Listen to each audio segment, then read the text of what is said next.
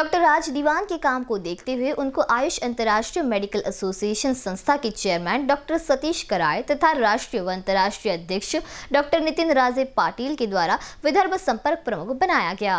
Doctor राज दीवान इन्होंने कई पद पर अपनी अलग पहचान बनाई है। वे आयुर्वेद व निसर्गोपचार चिकित्सक पद पर कार्यरत है।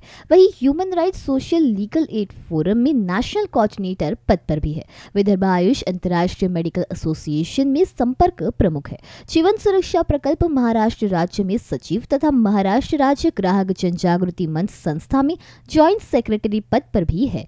जैसे बहुत सारे पद पर भी वह अपना अमूल्य योगदान दे रहे हैं। इसके अलावा उनको कई अवार्ड अवार्ड से भी सम्मानित किया जा चुका है, जिनमें दो बार उनको अपघात मुक्त नागपुर चे सिलेदार पुरस्कार से सम्मानित किया गया। 2019 में उनको दिल्ली में Mahatma Gandhi international peace award से सम्मानित किया गया।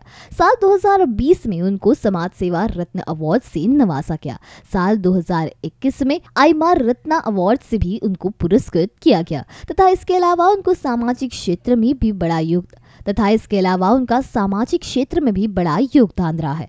सामाजिक क्षेत्र में भी उनकी एक अलग छवि है। आज भी वह समाज के प्रति अपना उत्तरदायित्व एक जिम्मेदार नागरिक के तौर पर बिताते हैं। इसी को देखते हुए कलमेश्वर तालुका के रहने वाले डॉक्टर राज दीवान को विदर्भ संपर्क प्रमुख बनाया गया। इसके लिए उनको युवा समाज सेवी तथा शासकीय वैद्यकीय महाविद्यालय व रुग्णालय के ड्रग ट्रीटमेंट क्लिनिक के समुपदेशक स्वप्निल तुपे, इन्होंने उनको खूब सारी बधाई और शुभकामनाएँ दी।